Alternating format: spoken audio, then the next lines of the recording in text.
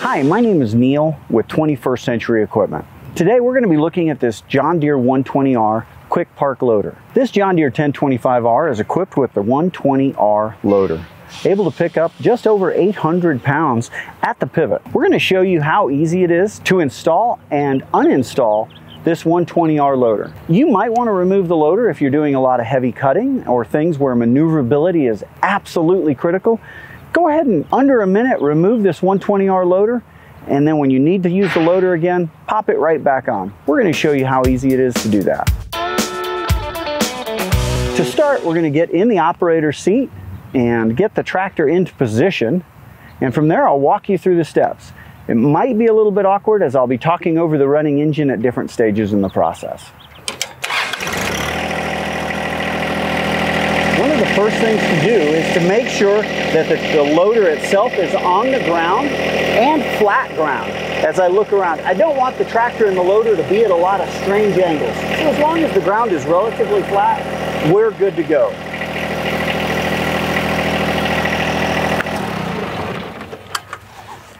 From there, I'm going to raise these latches. From here, the tractor is going to do all of the work. Follow along.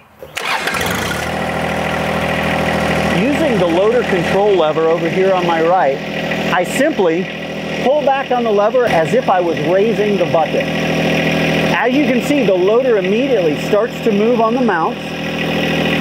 At the same time, the stand pivots into place. From here, I turn off the tractor and I'm going to go ahead and disconnect the hydraulics. This tractor is equipped with the new for 2023 single point hydraulic connection. There's a safety latch right here and this large lever. That's all it takes. A little bit of wiggle to get the hydraulics free and we are good to go. Set those up on the front of the machine.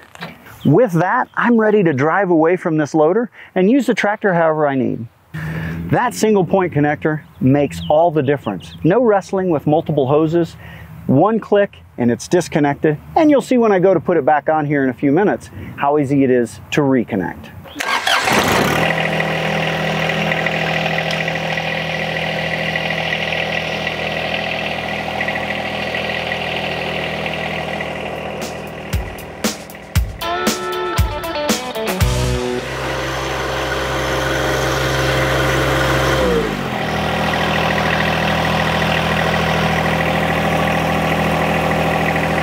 Want you to think I'm cheating, so I drove in a circle there. All I do is pull back into this loader until that stand just about touches the front axle. Turn off my tractor. I'm going to show you again how easy it is to reconnect these single point hydraulics. These two points line up with two holes on the bracket. Give it a little wiggle to make sure everything's aligned. It snaps into place. Then it's simply a matter of pushing this latch forward until my safety catch engages. That's it. The hydraulics are ready to go. Now, once I'm back in the seat and the tractor's running, I push forward on the lever and you'll notice that the loader starts to slide itself in place. It is possible as I'm doing this that I may have to move the tractor a little forward or a little backwards just to make sure everything lines up.